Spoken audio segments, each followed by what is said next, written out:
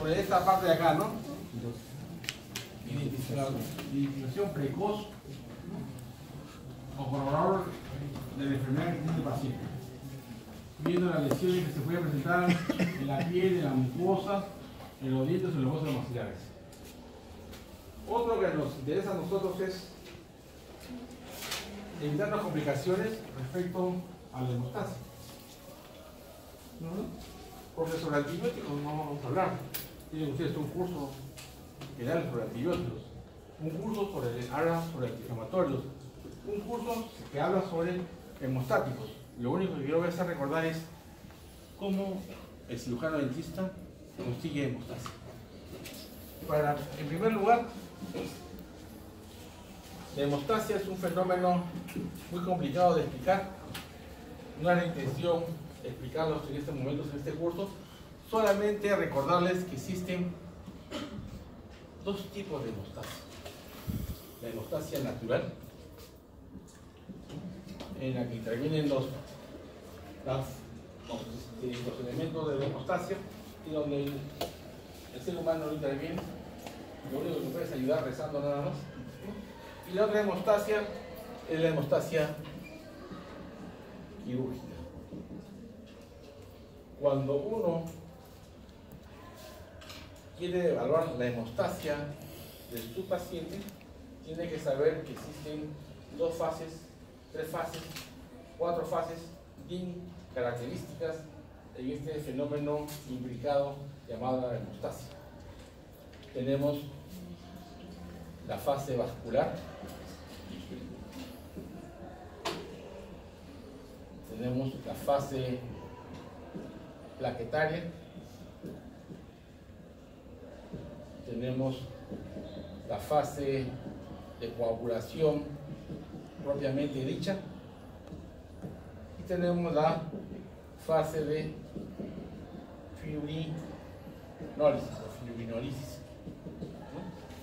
Las dos primeras constituyen la hemostasia primaria.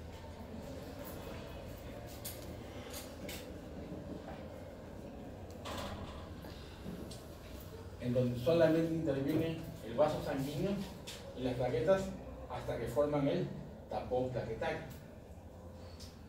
Luego de haber formado el, tapón plaquetario, viene la fase de hemostasia secundaria, donde interviene la fase de función propiamente dicha, donde intervienen los factores, la hemostasia secundaria, en donde intervienen pues las proteínas plasmáticas llamados factores de coagulación, en donde existe un factor o una proteína soluble llamada fibrinógeno y que consiste en convertirla en insoluble y cuando se convierte en insoluble se llama fibrina. ¿no? ¿Cuál es la característica principal de la fase de coagulación propiamente dicha? Convertir el fibrinógeno en fibrina. Y la fase de fibrinolisis es decir, ya deja de formar fibrina, ya, comenzó, ya este, está detenida la pérdida de sangre, ahora vamos a hacer la reparación del tejido. Hasta acá. Ahora bien, ¿qué hacemos para hacer hemostasia? Tenemos que recordar esto. Tenemos que recordar los exámenes de laboratorio que solicitamos, y lo vimos en las primeras clases. ¿Se acuerdan? Entonces, el cirujano dentista tiene varias formas de conseguir hemostasia. La primera, ¿cuál es? Rezar. Rezar y para que se produzca la hemostasia natural. Pero lo primero que hace el cirujano dentista es compresión. Cuando se le pregunta en el examen, ¿qué mecanismo de hemostasia conoce? El cirujano dentista practica o hace. Lo primero es la compresión, que puede ser digital, digital, manual, bimanual, o hasta cualquier encima, pero comprime. La compresión.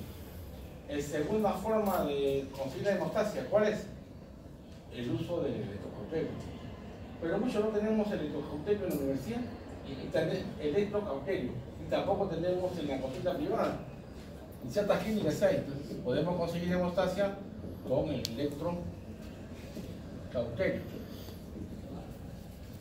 Las otras tenemos que utilizar, por ejemplo, las pinzas hemostáticas. Posiblemente venga, como está llevando ya cirugía, nombre de pinzas hemostáticas. La trae, la coge, las cosas que ustedes conocen, las hastes, ¿no? Pinzas hemostáticas. Todos conocemos ratón, pericote, ¿no? Hemostáticas. Después, ¿qué podemos usar? Podemos usar hilos, esas suturas. Hilos y suturas.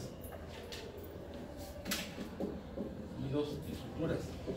Y podemos usar muchos hilos. Podemos usar los reabsorbibles y los no reabsorbibles. Y la forma de las suturas podemos ser a puntos separados, colchonero vertical, colchonero horizontal, continuo, intradentro. Ustedes quieran hablar. Que solamente en cirugía ya se van practicando. Y por último, ¿qué tenemos? Los hemostáticos.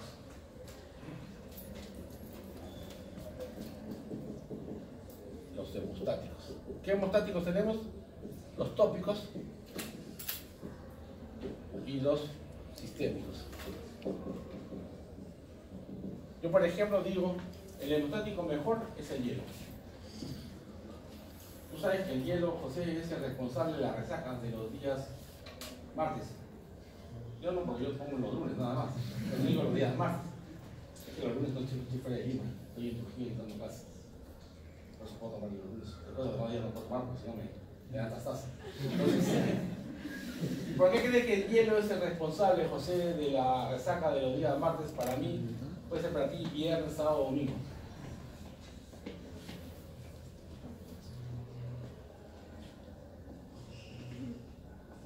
La resaca, ¿sabes lo que es la resaca? No estás resaqueado, ¿no? Estoy de boleto, dices. ¿Por qué cree José que el hielo es el responsable?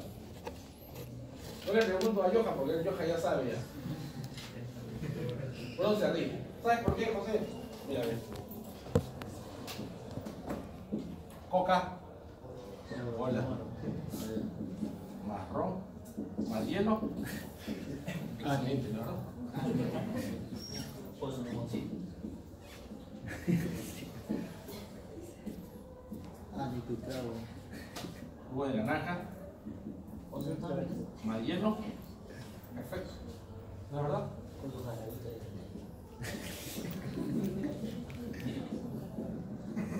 Positivo. Pero si tomas una roja, si tomas este, un rojo es este cartallo, ¿no? Es de, de un año, creo, ¿no? O tomas un vodka de mismos, ¿qué pasa? Te saca. ¿De verdad? Entonces, ¿cuál es el responsable? El hielo, pues, José. Por eso yo siempre soy partidario que el hielo es el responsable de la resaca. Y por eso que no le echo hielo a ninguna de sus tragos. Ya sabes, este, Ramón. ¿Qué edad tiene, doctor? Y diez, pues. Bueno, hasta acá nomás nos quedamos muchachos. El día. ¿Ah? ¿Hasta la 1 y 40? Una y media. 25. No, pero que. Ah, no, no, alto. O sea, voy a. Dice hasta 1 y 45, dice Giorgio. Oye, bastante, falta bastante. Entonces comenzamos. Entre los hemostáticos tópicos tenemos al cual? Oye, bastante. Al hielo. Tenemos a la adrenalina. Tenemos al agua oxigenada. Y tenemos a todos los productos que ustedes solamente en cirugía le han explicado. El Gelson, el Surgicel, el Efomostan, ¿no? el Xenoacrilato, ¿no? el sulfato férrico, el veneno de víbora de race, el ácido tánico. Y ahí hicieron ver en cirugía es 11, ¿no? Con varias comunicaciones. Dígame, José. El ácido tranexámico es, actúa sobre, solamente sobre la fibrinolisis y mayormente lo recomiendan a pacientes hemofílicos. Pero tú dices, hazte enjuagatorio con ácido tranexámico, toma, ácido, toma este, píldora de, no, comprimido de ácido tranexámico de 500 miligramos antes de su 11 es un pecado mortal. El paciente tiene que estar controlado, su, su cuadro hemofílico tiene que tener más del 30% de factor 8 en su, en su dosaje para que tú le hagas una isonza. Pero si tú lees los libros, no, hay ácido tranexámico es mentira. Quizás se puede formar el coágulo. Tú dices, "Eh, se forma el coágulo. Llega a su casa y el coágulo se, se desparrama, se despierta. Y te vuelve a llamar porque está sangrando. todos estos pacientes, cuando apliquemos nosotros el manejo, la guía de atención, van a ver ustedes lo que tenemos que hacer. Entonces, hasta acá, colegas, de sobre hemostasia, sobre los exámenes que ya hablamos la primera vez, ¿hay alguna pregunta? Doctor. Efectivo, un estático tópico, un sistema. Para colocar un hemostático tópico, el cirujano dentista del patio general es lo que más utiliza. Para que se yo aplique sistémico, tú tienes que saber por qué no hay hemostasia. Porque hay una falla en la fase primaria, porque hay una falla en la fase secundaria, porque la falla fue vascular, porque la falla fue plaquetaria, porque la falla es de coagulación propiamente dicha. Tú tienes el examen de doctor, esa fue la primera clase del curso. Hicimos exámenes de laboratorio, o exámenes de vida diagnóstica. Dije, hay que saber cuáles se pide para lograr la fase primaria, cuáles se piden para lograr la fase secundaria, qué examen se pide para medir a los anticoagulados comarínicos. Eso sí, la primera clase, mamá, solamente que tú en el primer examen tienes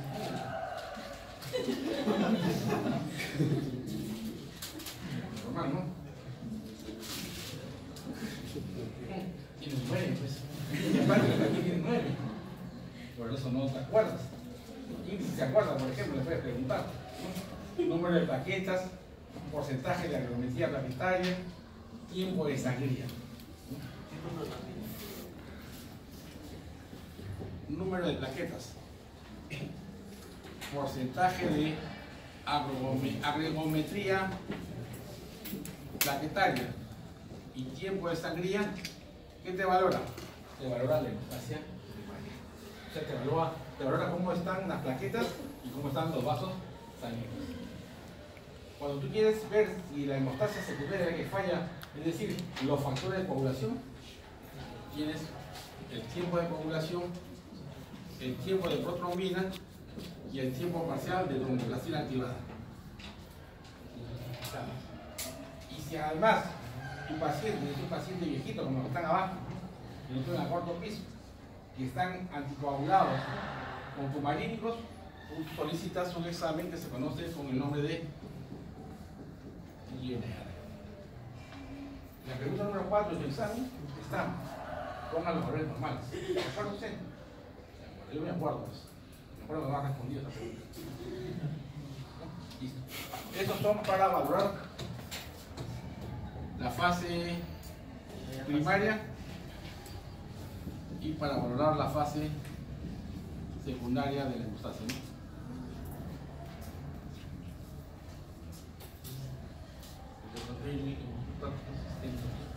Entonces, hasta acá no hay ninguna pregunta, ¿no? ¿Colegas? ¿Está claro? ¿Está claro, de verdad? Bueno, sigamos entonces.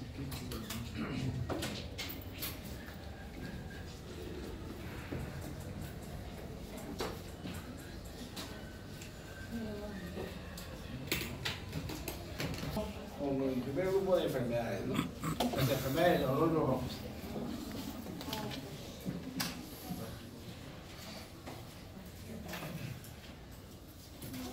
En las enfermedades de los glóbulos rojos podemos encontrar dos posibilidades. En que exista un aumento, en que exista una disminución. El aumento de los glóbulos rojos se conoce con el nombre de policitemia. La disminución de los glóbulos rojos se conoce con el nombre de anemia. La policitemia tiene varios nombres, ¿no es verdad? Poliglobulia, ¿no? Eritrocitosis, eritremia. Pueden preguntarle a vuelta, no había hecho esa exposición. Y la anemia, la anemia es lo que más nos interesa a nosotros. ¿Por qué? Porque es una enfermedad que cabalga en nuestro medio, que la TBC, droga multiresistente. Es muy frecuente, es muy común, lo vamos a encontrar siempre en nuestros pacientes. Entonces, en anemia existen diferentes maneras de clasificarlas. ¿no? La podemos clasificar de acuerdo a su fisiopatología o lo podemos clasificar de acuerdo a su morfología. De acuerdo a su morfología, el médico cirujano tiene dos parámetros bioquímicos. ¿Qué parámetros son? El, volumen corpuscular medio y la hemoglobina corpuscular media. El volumen corpuscular medio y la hemoglobina corpuscular media. Estos parámetros bioquímicos hacen que la anemia la clasifiquen en tres grandes grupos. La anemia que está con valores normales se llama anemia normocítica. La anemia que está con valores menores a lo normal se conoce con el nombre de anemia microcítica. Anemia microcítica. Y la anemia que tiene los glóbulos rojos, así como los peruanos, no entrenados, faltos de fútbol, hoy día nos dan tres, ¿no? se llama anemia macrocítica.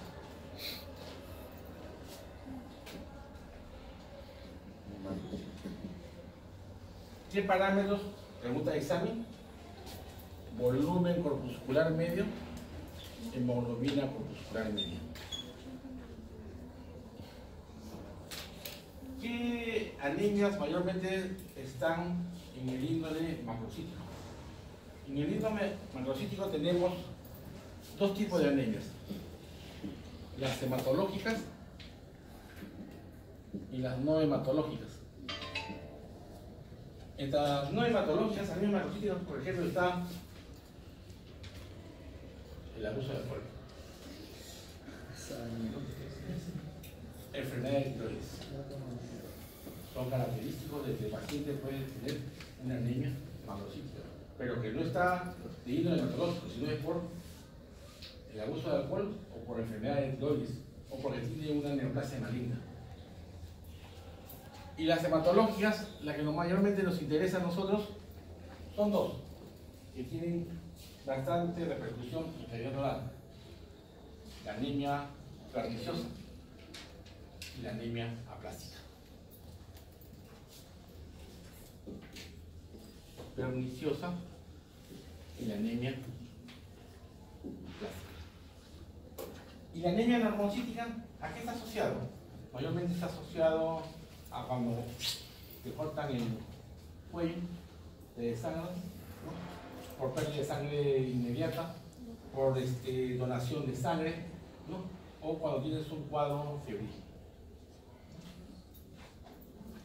La es por fiebre, ¿no? infecciones, o por pérdida de sangre inmediata. ¿no? ¿Y la microcítica qué significa? significa que el glóbulo rojo tiene poca concentración de hemoglobina y el impigencia, pues es pequeño. ¿No verdad? Entonces, en la microcítica, ¿cuál tenemos? La que cabalga en nuestro medio, la ferropenia. Todas las anemias, la más frecuente, ¿cuál es? La ferropenia. ¿Qué otra enfermedad tenemos acá? La sideroblástica. ¿Cuál es la diferencia, Alejandro? entre sideroblástica y ferropénica. Bueno, como no sabe Alejandro, yo tampoco sé. Ahora sí nos dejamos acá porque ya estoy cansado.